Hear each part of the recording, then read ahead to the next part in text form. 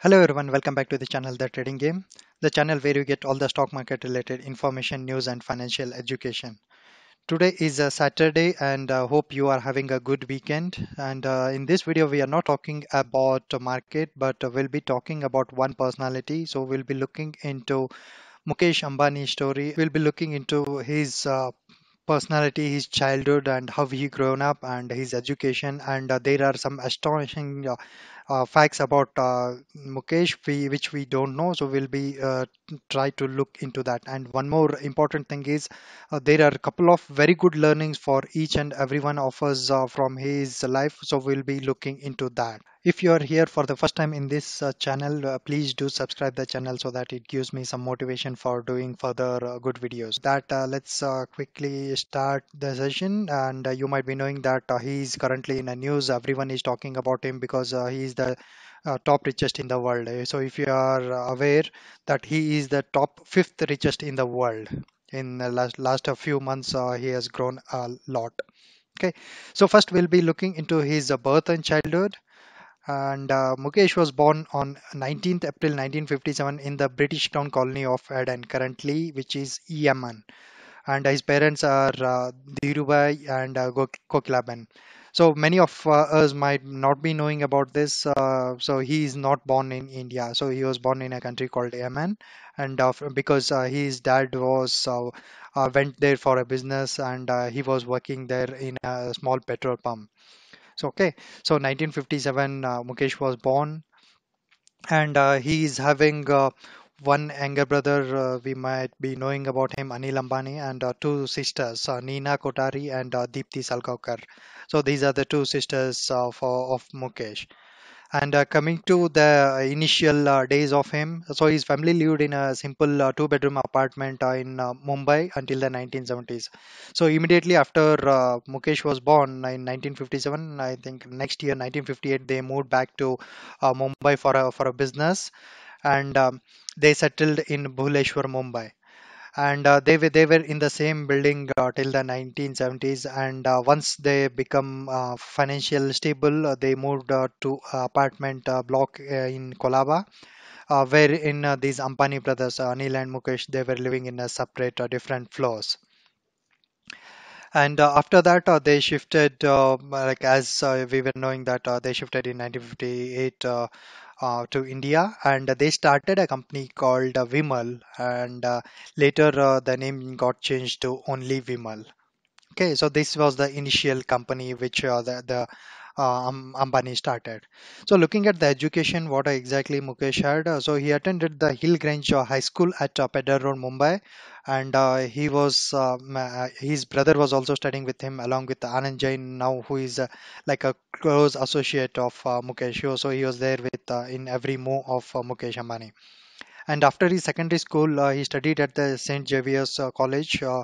Uh, uh, in Mumbai itself, and then uh, for a BE he did in uh, he did chemical engineering from the Institute of uh, Chemical Technology. And after that, so uh, Ambani later enrolled for an MBA at Stanford University. Okay, so this is a very important topic, and this is I consider this as a very good learning for uh, each of us, wherein we push our children uh, for uh, all these higher degrees uh, every time, and we want to concentrate them on the on uh, studies all the time but uh, here you can see there there is a something very different thing to learn from uh, wherein when he when he uh, uh, enrolled at uh, Stanford University, he withdrew in 1980 to help his father build Reliance. That means he is a dropout of uh, Stanford University. The the simple reason being why he uh, dropped out is his father felt like uh, real life skills were. Uh, I mean, we can get that through the experience and not uh, by the degrees uh, which we get in a classroom. That this is a very very important point, which I actually I wanted to bring it in this video. So very very good learning. So that we should each and every one of us should. Uh, look at uh, rather than just looking into the degrees we should look into the real life experience and uh, we have to grow out of it. Okay? And um, please let uh, me know your comments in the comment section below what you feel about this particular point. So i i personally say uh, degrees are important but uh, definitely experience is uh, way way higher than uh, our regular degrees And uh, coming to the business section, so what happened in the business? In uh, 1981, he started to help his uh, father Dhirubhai Ambani once when he came back from Stanford. And uh, by that time, it had already expanded so that uh, it uh, also started uh, dealing in refining and petrochemicals. And uh, now, uh, when you look into that, uh, there was telecommunications also. And after that, Reliance uh, Retail, uh, there was another subsidiary. So um, you might be knowing that it is the biggest retailer in India. And uh, in around that 2015-16 mark, Reliance Jio has earned a top five spot in the country's telecom services uh, since its public launch, uh, 2016. Okay, so now after that, uh, like if we really look into his uh, initial days, uh, at the age of 24 itself, uh, he was given a charge of the construction of a Patal Ganga petrochemical plant. Uh, in fact, uh, this was a very uh, huge responsibility on uh, Ambani, Mukesh Ambani at the age of 24 because 24 is not that uh, big age for uh, looking into these kind of uh, businesses, especially this oil refinery and petrochemicals. So he was given responsibility and uh, uh, we know that uh, he, how good uh, he served that. And uh, once after this, uh, Dhirubhai, uh, his father got expired in 2002, and uh, there were like uh, clashes between uh, the brothers Anil and Mukesh for the distribution of uh, whatever the businesses uh, they have built. And uh, these clashes were resolved by uh, his mother, Mukesh Anil's mother, and uh, she came in between and uh, she helped uh, them uh, splitting the company into two. One is um, uh, Ambani, this Mukesh Ambani receiving control of uh, Reliance Industries and uh, Indian Petrochemical Corporation Limited, which was uh, later approved by the Bombay High Court. So Mukesh got these wings out of it. And we'll be looking into world's rich list, how how he came to the top through the richest list. And you can see here in 2016, uh, Mukesh was ranked 38th uh, number overall, and uh, he consistently uh, he was heading the richest person title in India. And uh, you can see here he's the only Indian businessman on Forbes list uh, of the most powerful people. And as of uh, January 2018, Mukesh was ranked as the 80th, 18th. I mean, so in uh, two years, uh, he climbed to 20 uh, spots and uh, he was standing at 18th. And um, later in the same year, July 20, 2018, uh, he crossed Jack Ma and um, became the Asia's richest person with 44.3 billion in July 2018. Okay, so with uh, two, uh, if you really look at it, 2016 he was at 38th rank. By July 2018 he was at uh, uh, he crossed uh, Asia's uh, Jack Ma, and, and currently he is standing at uh, fifth richest of the world. And now you can imagine how quickly he's growing. Even though we are in this uh, corona period but still uh, he is everyone is going down but uh, he is continuously growing up and uh, the people who are above him uh, with respect to the uh, richest list is first one is as usual amazon um, jeff bezos is continuing. And second one is bill gates from microsoft. Third one is Bernard Arnold, and uh, Mark Zuckerberg is on uh, fourth one from Facebook, and uh, fifth is uh, this Mukesh Ambani. Okay, so uh, with that, uh, let's look into a few of the awards and honors of what he has got. You can see here uh, there are like multiple awards or the honors of what he has got. So there are like a couple of slides. One is this, and uh, the second one is uh, there were like um, there were multiple, in fact. Okay, with that, let's look into quickly look into the his uh, personal life. Uh, how how exactly is uh, so you might be knowing that his his wife name is Nita Ambani and uh, they married in 1985 and uh, they have uh, two sons. One is Anant and the other one is Akash and also a daughter called uh, named Isha. And uh, in one of his uh, TV interviews, he mentioned that his favorite uh, food is idli sambar, and he, that's a that's a strange. Being a Mumbai, probably someone might have thought about uh, uh, something else like vada pav, but uh, he said idli sambar. That was very strange. But and similarly, when he talks about restaurant, he said that My- Mysore Cafe is his favorite restaurant, which is in Mumbai King Circle.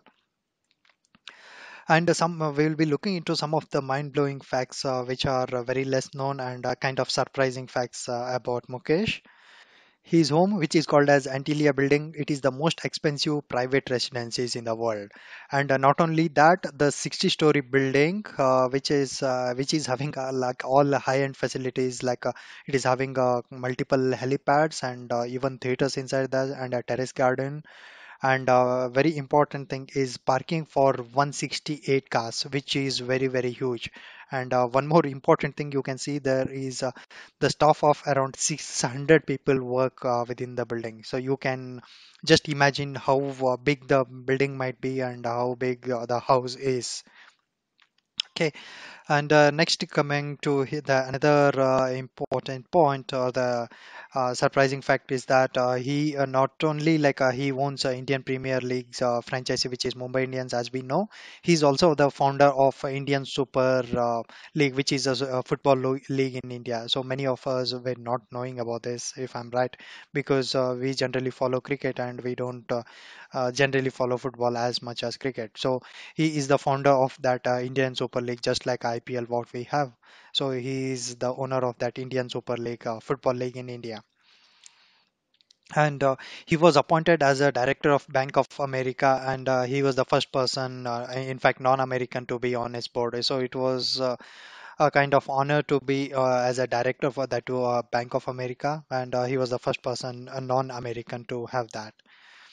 And uh, as we saw earlier, uh, so he directed and led the creation of the world's largest uh, grassroots uh, refinery at Jamnagar. Oh, so it's basically uh, it was integrated with petrochemicals, power generation, port, and related infrastructure, and uh, has a capacity of producing uh, six lakh sixty-eight thousand bar- barrels per day, uh, which is uh, very very huge. And uh, uh, no wonder that uh, this is this is the world's largest uh, petroleum refinery.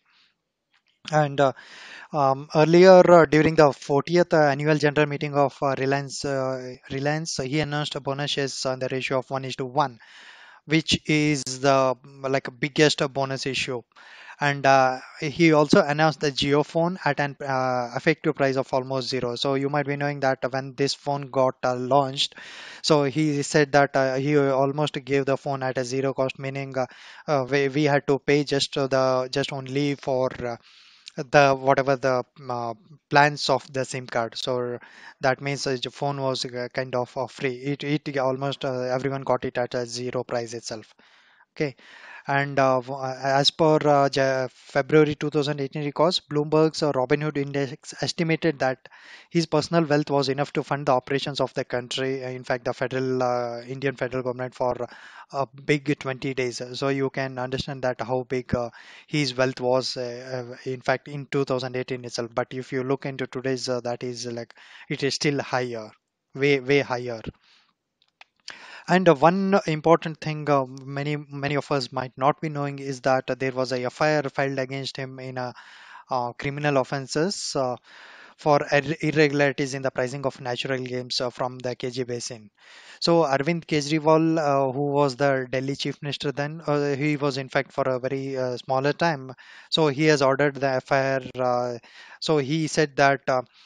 There are the natural gas price has been increased and uh, the all the leaders political leaders especially Rahul Gandhi and Narendra Modi they were not clear on this and they were uh, not uh, questioning this is what uh, his concern was Arvind Kejriwal and uh, he claimed that whatever the uh, amount required to produce a, an unit of uh, natural gas was exact was around one dollar. Uh, it was needed to produce, but uh, he was charging eighty dollars. So, so that means what Kejriwal claimed is that rupees 540 billion to the country annually was the loss for the country.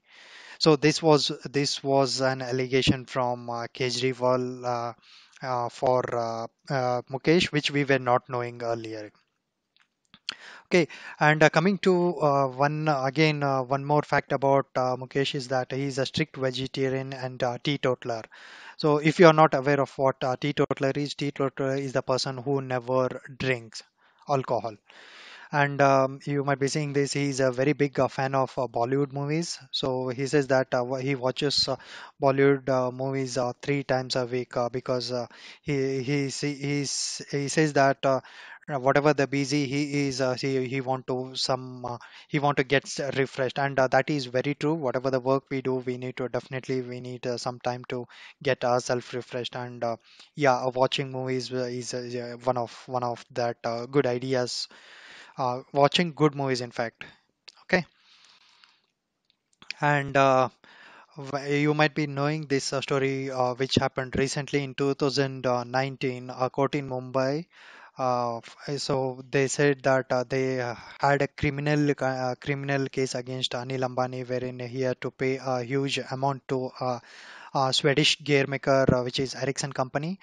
So the, the um, court ordered a jail for him, but uh, Mukesh came to help him at the end of the month, whatever the time they had given. Mukesh uh, bailed out his uh, younger brother by paying all the debts, whatever he had to Ericsson. So this was really a, a helping hand watching what he gave to his brother. So in fact, this is one of the learnings. Um, so even though there were like multiple uh, conflicts between him, between him and his brother, but when the really time arrived to help uh, his brother, he he helped him. Okay, so this is uh, definitely one of the good learnings what we have to um, go uh, follow in our life. And uh, just one more crown for him. So he was uh, titled the world's richest uh, sports team owner uh, when he when he purchased uh, I, uh, Mumbai Indians for 111.9 million in 2008. So this was a huge investment, and that's the reason why he was titled the world's richest sports team owner. And one more astonishing fact is that in 2007, uh, so he uh, gifted uh, flight which is Airbus A, uh, Airbus A319 for uh, his wife Nita uh, for uh, for her 44th birthday. So this Airbus is not just an ordinary flight. It is it has a capacity of having 180 passengers on the world, but it has been custom fitted to include a living room, just like the house whatever they have. And uh, the bedroom, satellite television, it has Wi-Fi, Sky bar, and uh, an office too inside that. And now, uh, one more important uh, fact to be noted here, which uh, many of us not knowing, is that Mukesh Ambani is having as a Z level security that costs him around uh, 15 to 16 lakhs per month. So that means uh, he is just uh, having the um, uh, very high level security. Um, he's just one of one of those people who have this Z level security in India.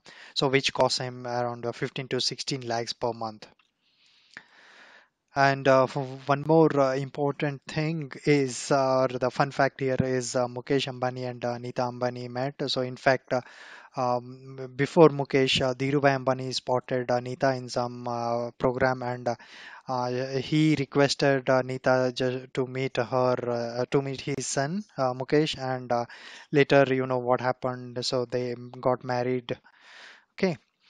So that was the love story of them. And uh, the next thing is uh, very, very important thing. So this is again one of the very important learnings uh, what we can get from his life story. So he says that uh, uh, even though he's uh, busy too much during all his days, he he spends time every Sunday with his family. So so this is very important point because we will be uh, keep on busy every day uh, with our uh, busy schedule, but definitely we need to spend some time with our family. So you can see here Mukesh spends every Sunday with his family. And about talking about his luxury car, so he owns a car BMW 6, uh, sorry 760 Li, so which is a bulletproof uh, that can bear even uh, deadly bomb blast. So it is a very good car. Uh, I mean, very high level security car. So this is uh, the the same car. I mean, uh, the same model is being used by our Prime Minister Modi also. And not only this car, Mukesh is having uh, there are like a too many uh, 160 plus cars of a different uh, company and uh, different brands. And uh, now, so you might be uh, you might be aware that he is the fifth uh, richest in the world. But uh, if you consider uh, outside North America and Europe, so he is the richest person uh, in the world, except North America and Europe. Because whatever the top four we talked, the the top four are from either North America and or Europe. Okay, so with that, I hope uh, that uh, we got some uh, information out of this video. And if you had, if you have got something out of it, please do hit the like button and uh, uh, subscribe the channel if you haven't done. Uh, thank you so much for your time. See you in the next video. Bye bye.